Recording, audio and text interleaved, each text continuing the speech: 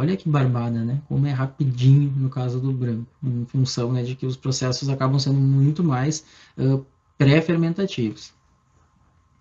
Aí chego na estabilização.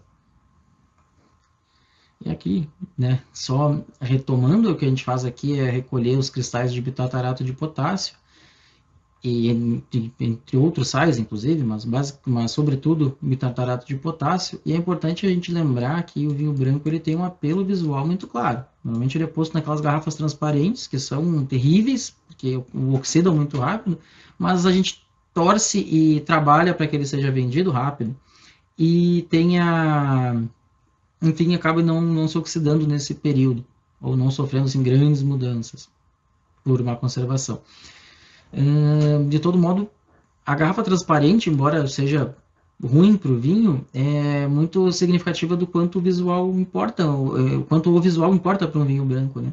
E da mesma forma, quanto que os cristalzinhos de bitartarato não vão ser legais. Então, sobretudo no vinho branco, a gente tem que ter um bom cuidado com o aspecto visual.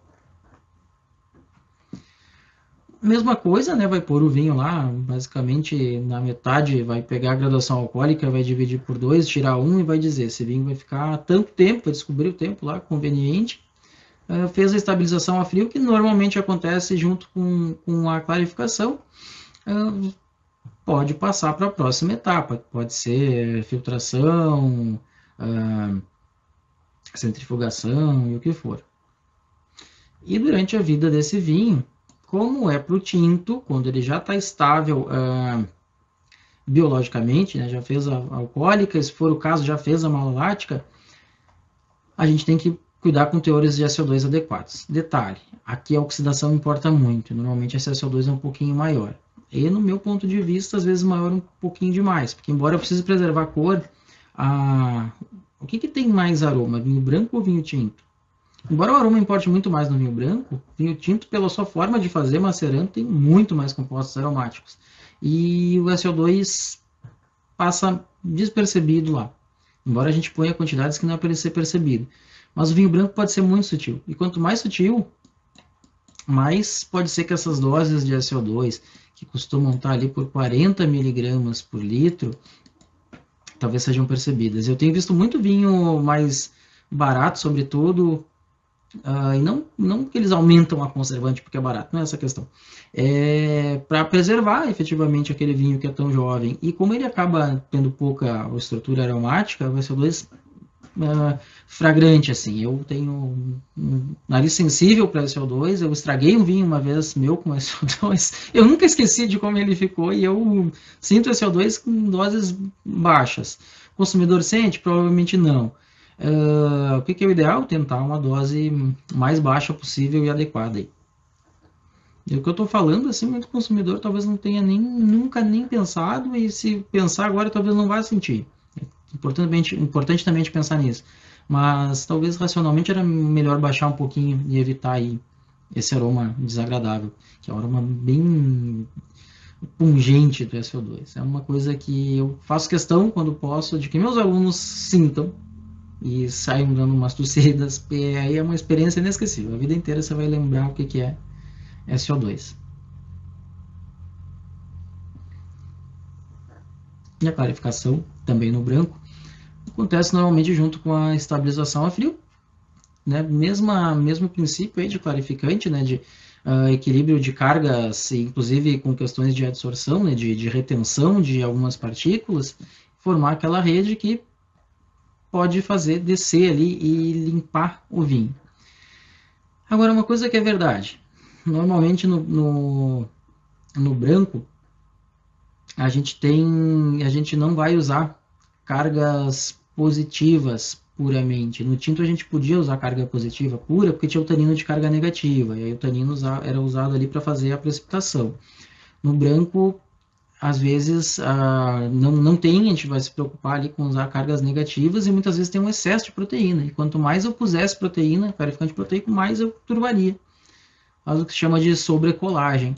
E, então, provavelmente eles nunca são usados os clarificantes proteicos puros. E tem clarificantes mais adequados para o branco, porque evitam que são mais sutis, por exemplo, a cola de peixe. E também se fala muito da caseína para vinho branco. E um clarificante bem qualitativo, mineral para o vinho branco, sílica. É sol de sílica. E PVPP também. PVPP é bem importante para hum, tirada de partículas oxidadas. É um qualificante bem importante para recuperar vinhos que tenham oxidado um pouquinho. Ou seja, os clarificantes fazem diferença e podem fazer alguns milagrinhos. E bentonite é um clarificante clássico, só que bem intenso. Limpa e limpa bem. Isso aí talvez para os vinhos mais standard, até no tratamento padrão que se seguir ali, deixa ele bem límpido. E deixa que o aroma varietal fique ali, que os secundários apareçam. E mas eu não sou um grande fã de bentonite, acho um clarificante bem bem extremo. Teria que ser usado, no meu ponto de vista, com um pouquinho mais de cuidado. E carvão, ah, importante dizer, né, no tinto, o carvão tira até cor, então provavelmente ele não é usado nos tintos, mas sobretudo nos vinhos brancos. Ele absorve aromas desagradáveis, ele tira a oxidação. O carvão é uma coisa maluca, assim. Você pega um vinho tinto, põe carvão, ele fica transparente, pega um vinho branco que já era clarinho, fica transparente também. Inclusive de aromas, não são, não se distinguem muito. Mas esse é um uso uh, temeroso do carvão. A gente espera que ele seja usado em doses racionais para efetivamente fazer uma clarificação a mínima necessária. E aí a gente deixa ou decantar, ou faz flotação, ou centrifuga, e pode fazer a filtração a vácuo das borras.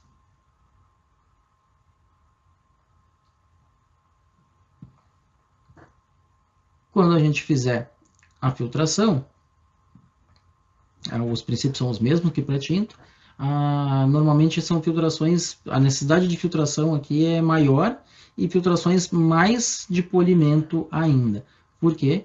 questões visuais, tá? E mesmo para proteger de alguma oxidação, quanto mais tu retém aí corpos que podem se oxidar, mais tu vai ter um vinho mais estável e mais límpido e, e, e clarinho, como a gente espera que ele seja. Mas a forma de, de, de operar, de operacionalizar é igualzinha para os tintos. As doses de terra e, as, e os regimes de filtração que talvez sejam diferentes. E aí filtros de pressão praticamente são usados quase que universalmente na, na nos vinhos brancos. E filtro prensa igualzinho é para os brancos, mais para mais para borra, mais para vinho novo, recém-carregado. Filtro de massa quase não se usa mais.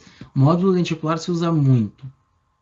Muito. Normalmente assim, mais grosseiro filtro de pressão, ou não, ou faz direto aqui no módulo. É, do módulo, se for o caso, membrana para fazer as bem as, as filtrações bem uh, apertadas, bem polidoras e mesmo esterilizante. no branco é importante porque qualquer distúrbio vai ser percebido, ainda mais se tiver garrafa transparente. E aí procede, passa para o engarrafamento. E da mesma forma, os tangenciais podem ser usados aí em todas as fases, inclusive para finalização do vinho branco, com né, a lembrança de que ele é caro, então por isso que a gente não encontra ele muito. Eu até deixaria assim os votos de que a próxima visita que vocês façam em uma vinícola, vocês olhem os equipamentos e vejam se se adiantou essa, a gente falar essas coisas e percebam assim quais as opções que as pessoas têm e que vão ter que ter alguma coisa. E tá entrando muito em moda dizer que não filtrou por causa da dos resíduos de terra, questões ambientais, mas olha, a possibilidade a possibilidade de ter um problema com vinho que não tenha sido filtrado é enorme. Tem uma vinícola grande do Brasil que, com esse vinho não foi filtrado, sofreu pouca clarificação. Gente, vinho em grande escala para se distribuir no Brasil inteiro, para ter grande estabilidade, eu tenho muito pé atrás de dizer que não foi filtrado, não foi estabilizado. Ou que passou por mínimas estabilizações, tá? Mas, enfim, espero qualquer dia desses conversar com alguém da, da, da vinícola e saber se, né, dentro do que for possível, e sentir firmeza na resposta, porque às vezes é com aquelas respostas, é, sim, dá, sim, é, mas não te explica bem. Aí na prática o que está sendo feito são as coisas normais, né? E só não estão sendo ditas, ou mais do que isso, não estão sendo omitidas e, ditos, ditas outras práticas.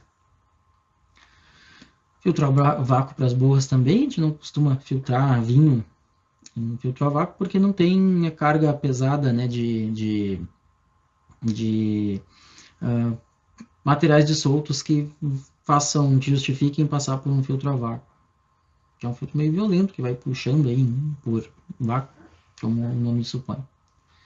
As centrífugas foram muito usadas aí para vinho branco e acabou há um tempo atrás se evitando porque elas estavam oxidando muitos vinhos brancos. A própria Forestier era tinha uma centrífuga, usava bastante e os vinhos estavam amarelando assim, amarelecendo muito rápido. E aí a descoberta foi que era a centrífuga, que era da Alfa Laval, inclusive. Quando as centrífugas não estavam tão tops assim como estão hoje. Hoje, o que se conversa é que já está tudo resolvido, que funcionaria bastante. A Chandon trata alguns mostos e vinhos por centrifugação. Fazia um barulho horroroso toda vez que descarregava, parecia uma sirene, um aviso de, de, de escola aí. E também são usadas em espumantes, tá? Embora movimentem, igualzinho filtro, igualzinho uh, centrífuga, pode ser usada para espumante. E aproveitando aqui, tem uns, uns tubos aqui que não acho que não são o caso, mas um trocador de calor é um algo parecido. Vai passar em tubos, esses tubos né, são uh, duplos, eles têm aqui por fora, entre os meus dois dedos, os que estão por dentro e por fora, passa água quente ou gelada, se for resfriar ou aquecer, e no meio passa o vinho, normalmente em contra-corrente, e assim é feito né, o ajuste de temperatura, e mesmo a pasteurização é feita num outro equipamento de forma parecida. Posso pasteurizar vinho? Posso. Vinho com açúcar poderia, amarelece um pouco, talvez, mas uh, tem formas de trabalhar para evitar e diminuiria a quantidade de sorbato, que é um conservante específico aí para contra fungos, contra leveduras, e aí tá bem não está presente nos vinhos secos, porque não tem açúcar, né, que vai ser degradado ou não tem grande risco nos brancos está quase que obrigatoriamente. E aí talvez pudesse ser diminuído pela pasteurização. Mas pasteurizar é uma palavra que tem um aspecto péssimo. Né? Outra coisa, aproveitando que falamos de pasteurização, muitas vezes a gente escuta aí outra bobagem, né? Que o vinho. Ah, os vinhos pasteurizados, assim, como sinônimo de iguais. Pasteurização não quer dizer igual, tá? Pasteurização é diminuição de carga orgânica e das, dos micro-organismos patogênicos de um determinado produto.